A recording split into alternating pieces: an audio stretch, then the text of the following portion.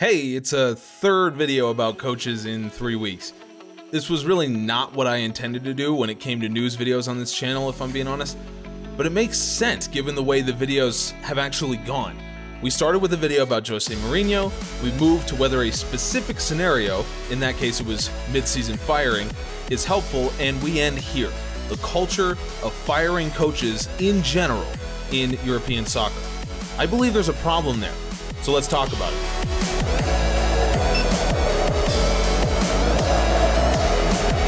Obviously, Italian club Napoli's sacking of Carlo Ancelotti inspired me to make this video, but this is actually something I've been mulling over for a long time. I want to start with some background on me so you know where I'm coming from. Like most kids in the US, my connection to sports came through playing and watching them with my dad. And my dad wasn't a soccer fan. He loved football and basketball and UCLA, etc., but not soccer. I only got into soccer when I became friends with lifelong soccer fans and players when I was about 15. Meaning, even though now soccer is my favorite sport to watch and talk about these days, I still view it through the lens of American sporting culture. So I've always looked at things that are normal in European soccer culture, like what we're discussing today, and questioned them.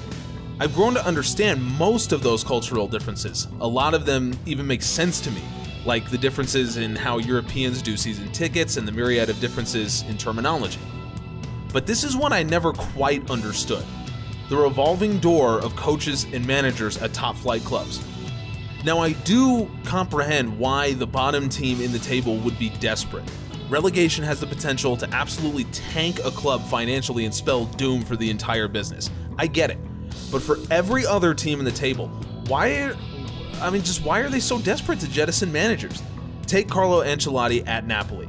He's won the league titles in four different countries, including Italy, and claimed Champions League gold in 2014. He's clearly an accomplished manager, regardless of what you think about the state of the teams he was at. Uh, winning the Bundesliga with Bayern Munich isn't exactly Leicester winning the Premier League now. Ancelotti took over Napoli last year after his stint with Bayern Munich. In his first season in Naples, Ancelotti led his squad to a second place finish in Serie A, finishing behind Juventus, but you can't say there's any shame in finishing one place behind the Italian soccer equivalent of the villain from the Austin Powers movie. He's earned Napoli a Champions League spot and seemed to be getting the club closer to a title than they've been in a long time. But four months after he began his campaign to consolidate his terrific performance in Season 1, he gets canned. Napoli sitting seventh, seven points off even a European spot, and without a league win for nearly two months. But let's think about what we're saying here. Napoli is in seventh, and they've booked their spot in the last 16 of the Champions League just the other day. They still have tremendous talent, and with Serie A not even halfway through the year, there's still a lot of time to turn things around. So why did Napoli pull the trigger so early on a manager with a long and illustrious track record? Well, this is where we come to the big cultural difference between the American sports I grew up with and the European sports I came to love. Now, this is just my perception here, so if you disagree, head down to the comment section or find me on Twitter at GriffFromGA and let's discuss. I absolutely think people can have a different read on this than I do, and I really want to hear all of your opinions. Let's say you're a fan of the LA Rams. The Rams sucked for years, then moved to LA and were bang average for a couple seasons. Slowly, they build a roster of great players and hire themselves a stud young coach they believe in. Suddenly, they're contenders and make a run to the Super Bowl, coming up just short against maybe the greatest organization in the NFL's history. Now, the next year, they've struggled to find that same level of success. Teams have changed their game plan, they've started to figure things out. Maybe the Rams have suffered a few injuries to key pieces, and all the other teams in their division have gotten better. Most Rams fans would feel like the previous year was proof positive of what can be done with the team they have. And even if they can't reach those heights the next year, the ability is still there, and all of it is better than where they were just a few years is better than where they were just a few years ago. In short, I believe American fans judge their teams based on the low end of what they've done i.e., the Rams are an 8 or 9 win team this year, but they can be a 12 or 13 but they can be a 12 or 13 win team next year, and it's better than being a 4 or 5 win team like they were a couple years ago. The European culture, on the other hand, goes the opposite way. That same Rams team, or in this case Napoli, would be slammed up and down for not returning to the same heights they did last season. While they're still average, and since in European soccer you have multiple competitions in which you can succeed, they're even better, they're still not as good as they were last year. European fans measure their team at the height of their success. The best you were is the new standard that you should now be every year going forward.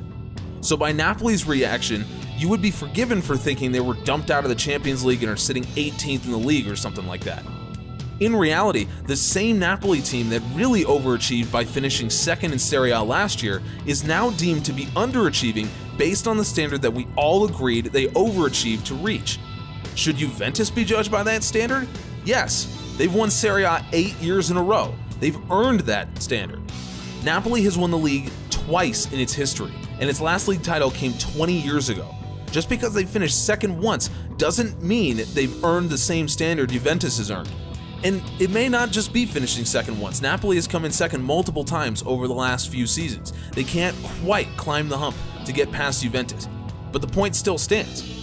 We just talked a couple days ago about Spurs firing Mauricio Pochettino. Slightly different situation, but the point is the same. Spurs had just made a Champions League final and had finished in the top four of a Premier League that had quickly become overrun by money that Spurs did not have. But their fans immediately began to hold them to the standard of a team that routinely makes Champions League finals. They are not Real Madrid, they are not Liverpool. They should not be held to the standard of Liverpool, and Liverpool should not be held to the standard of Real Madrid until they earn that standard. Now, it sounds like I'm contradicting my own video from just earlier this week, where I said we have to trust front offices and organizations to make the right decision when it comes to firing coaches mid season, and that's still true. Maybe Carlo Ancelotti wasn't instilling the culture Napoli truly wanted. Maybe he pissed off the president of the club, I don't know. But I do believe if the sacking was influenced by the fact Napoli hasn't returned to the heights they reached last year, despite the fact it was just four years ago when they finished in fifth, 24 points off the lead, it's a mistake. Teams should be judged off the average, not the highs, not the lows. Personally, I don't believe Ancelotti should have been sacked. I don't necessarily believe Pochettino should have been sacked either. I don't believe teams should sack their manager based on heights they've only achieved once. If you disagree, let me know. I'd love to have this conversation. Like I said, I believe that that all of you could have different reads on this than me, and I'm absolutely open to being wrong. If you check the comments section in my XFL video, you'll you'll you'll see what I mean. Anyway, thank you all for watching. Subscribe to GA Sports for more content. We'll see you next time. We appreciate you.